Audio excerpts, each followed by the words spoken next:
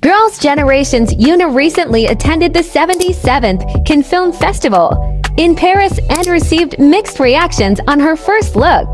Though Yoona's visuals mostly salvaged the look, her hair and makeup were criticized for being tacky. Many felt that the look was too mature. However, her second look is receiving all the love from netizens. Emerging in a gorgeous white gown, she looked angelic. Her hair was slicked back to show off her accessories, but netizens commented that they could only see her face. The merciless hairstyle is known to be hard to pull off, but Yoona does it with ease. Her gorgeous look earned her nicknames like Jungfräulich. Yoona is truly a goddess.